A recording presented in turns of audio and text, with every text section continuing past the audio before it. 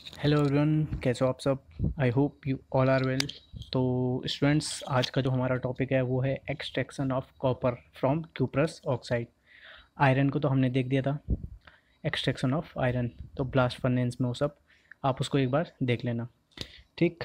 तो आज हम एक्सट्रैक्शन ऑफ़ कॉपर देख रहे हैं। कॉपर के जो ज़्यादातर और होते हैं, वो क्या होते हैं? सल्फाइड और होते हैं। कौन से और होते हैं? सल्फाइड और होते हैं। ठीक? तो सबसे पहले हम क्या करते हैं? जैसे हमारे पास suppose C U two S है। तो सबसे पहले हम इसको क्या करेंगे? कॉन्सनट्रेट करेंगे, जो कि हम फ्रोथ फ्लोटिंग मेथड से करते हैं। वो मैंने आपको बहुत अच्छे से पढ़ाया है, ठीक है? तो उसका लिंक डिस्क्रिप्शन में आपको मिल जाएगा। ठीक तो कॉन्सनट्रेट करते हैं। कॉन्सनट्रेट करने का मतलब क्या है? जैसे नहलाना धुलाना होता है, ठीक है? साफ़ करना उसको होता है, ठीक? तो इसको हमने साफ़ किया कॉन्सनट्रेट किया। उसके बाद हम क्या करेंगे? इसकी रोस्टिंग करेंगे, ठीक? रिवर्बेटरी फर्नेंस में इसको रोस्ट करेंगे ठीक है? इस, इसका ऑक्साइड बनाएँगे। तो प्लस ओ टू ऑक्सीजन की प्रजेंस में इसको क्या करेंगे? हीट करेंगे। तो हमें क्या मिल जाएगा? C U two O plus S O two S O two gas क्या होगी? उड़ जाएगी ठीक है? तो इसको हम बैलेंस करेंगे। ये टू होगा ये इधर थ्री ये टू और ये भी टू ठीक? तो हमारे पास यहाँ पे क्या मिला? इसका ऑक्साइड ये हमें मिल गया और ये गैस उड़ जाएगी। तो क्यूप्रस ऑक्साइड वो हमें मिल चुका है। सी यू टू ओ ठीक? अब देखो, यहाँ ग्राफ में देखो। Formation of copper oxide cuprous oxide कहाँ है? ये देखो। और जो हमारे पास कार्बन के ऑक्साइड है ना, वो कहाँ कहाँ बन रहे हैं? देखो। एक लाइन तो ये है। एक लाइन ये नीचे है और एक लाइन ये है ठीक? सारी लाइंस इसके नीचे हैं। किसके?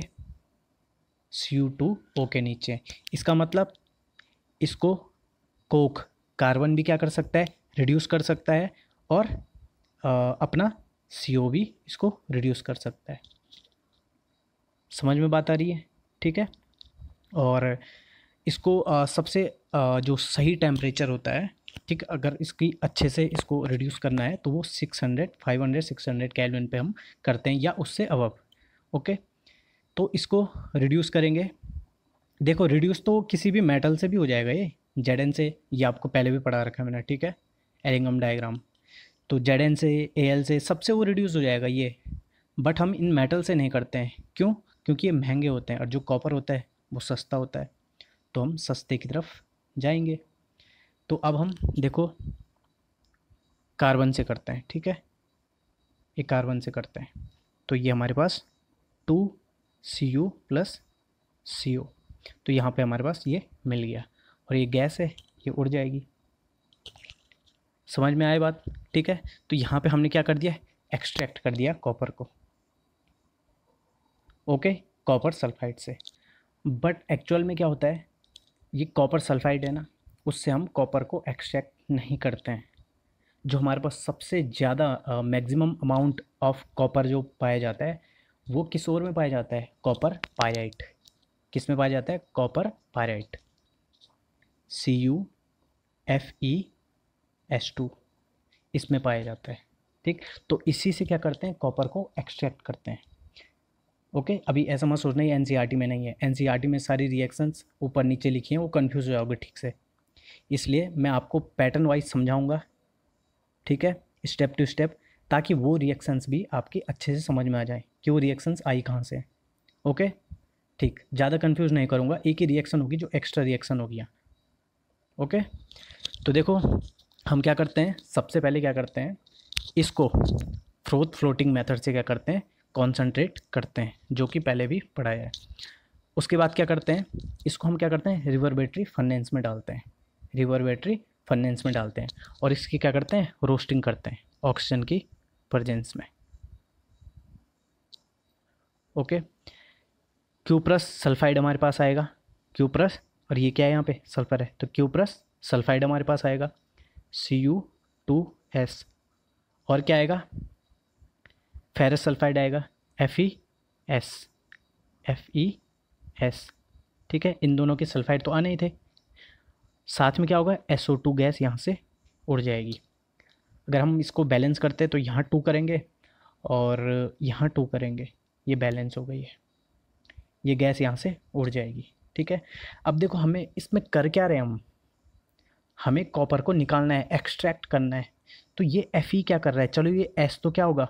हम ऑक्सीजन के साथ हीट करके क्या कर देंगे? ये एस को उड़ा देंगे एस ओ टू बन के उड़ जाएगी गैस में। बट इसको हटाना, ये बदमाश यहाँ पे है। इसको हटाना है हमें। तो इसी को हटाने के लिए हम क्या कर रहे हैं? इतने जतन कर रहे हैं इस एफ़ ई को हटाने के लिए, ठीक है? तो हम क्या करते हैं? इसके लिए रिवर बैटरी फाइनेंस में कुछ मात्रा में सिलिका डाल देते हैं, ताकि स्लैग बन के थोड़ा बहुत ये हट जाए, ठीक है? जैसे हमने ब्लास्ट फाइनेंस में भी किया था।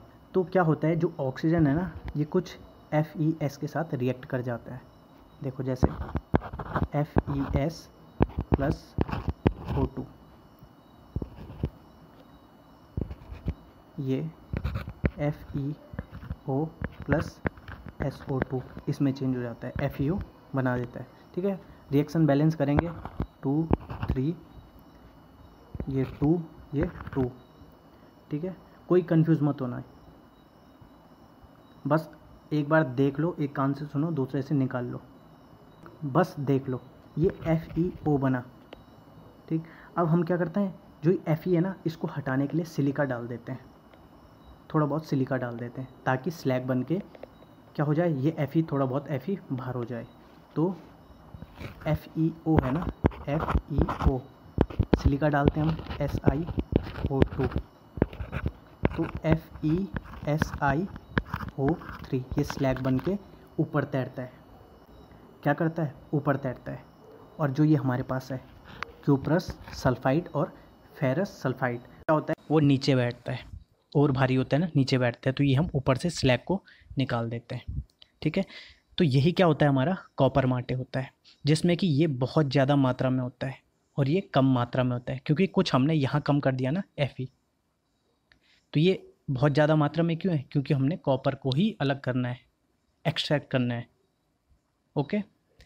ये इतनी बात आई समझ में? अब हमारे पास ये क्या हुआ? ये कॉपर माटे हुआ। इसको हम क्या कहेंगे? Copper matte. ठीक है? M A T T E matte. अब देखो।